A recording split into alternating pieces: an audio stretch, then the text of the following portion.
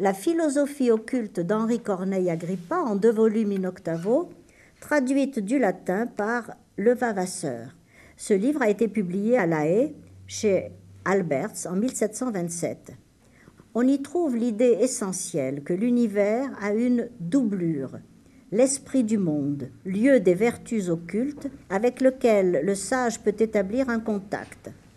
Certains passages de ce livre sont très proches d'expressions employées par Balzac dans Louis Lambert. Je cite ce livre. Notre âme, s'étant rendue pure et divinisée, échauffée de l'amour de Dieu, attire à soi la vérité, et dans la vérité divine même, comme dans le miroir de l'éternité, elle voit l'état des choses, tant naturelles que surnaturelles et divines, leurs essences, leurs causes et la plénitude des sciences. Et nous connaissons non seulement les choses présentes et celles qui sont passées, mais nous recevons encore incessamment les oracles de ce qui doit bientôt arriver.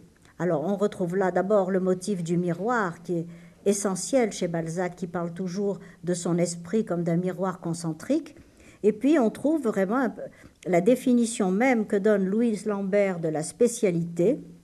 Je cite, La spécialité consiste à voir les choses du monde matériel aussi bien que celles du monde spirituel dans leurs ramifications originelles et conséquentielles.